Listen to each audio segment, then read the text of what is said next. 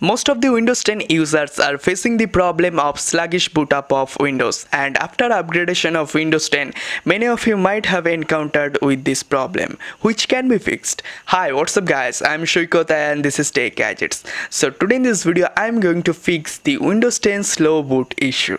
So let's go.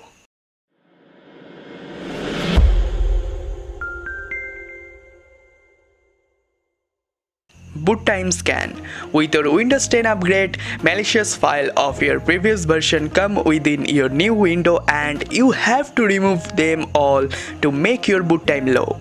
So boot time scan is the best option here and this can be done with any antivirus that has boot time scan feature. Enable fast startup. Browse to control panel, then power option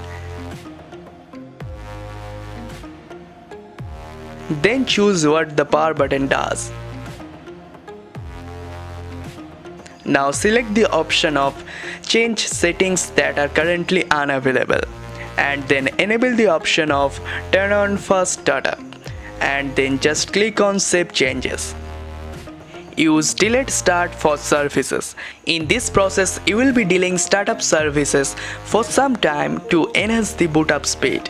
For this, you just have to press Windows key plus R and then type services.msc and then hit enter. Now you have to click on the service that you think causes the low speed of booting. Under general, find startup type change it from default to manual and then save the changes. Disable startup apps.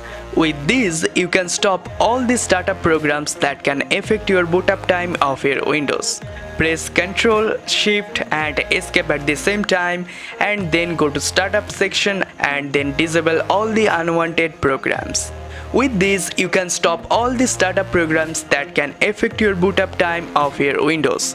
Reboot your Windows 10 after that update. Sometimes the reason why our Windows tends to slow down is because of a dodgy driver or a bug in an update. So the easy way to fix this is to check for updates. Well, if you want to check available updates, press the Windows key plus I and then select the option update and security. From here you can check for updates and can install if available. Reset your Windows. Well, Windows 10 comes up with an awesome feature which lets user reset Windows.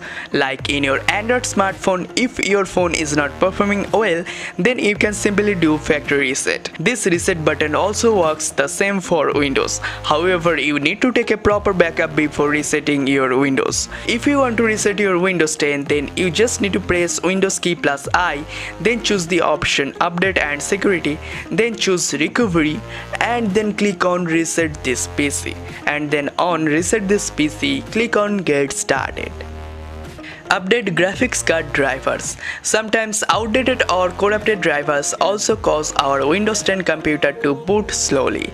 It was the graphics card driver which creates most of the problem. So to fix this problem, you need to update your graphics card drivers. First of all, press Windows button and R. This will open up the run dialog box. Then you need to type devmgmt.msc and then press enter. Now you will see the device manager window. There you need to right click on the install display adapter and then choose update driver. All this process will probably fix your Windows 10 slow boot issue so that's all for today guys. If you guys like this video please give this video thumbs up. If you guys don't like this video please go to the comment box and state a reason there. If you guys like this video please hit the subscribe button down there. It is free to subscribe and i'm Saikat signing off for today. I'll be back with a new video soon. So till then goodbye. And don't forget to check our website www.techgadget7.com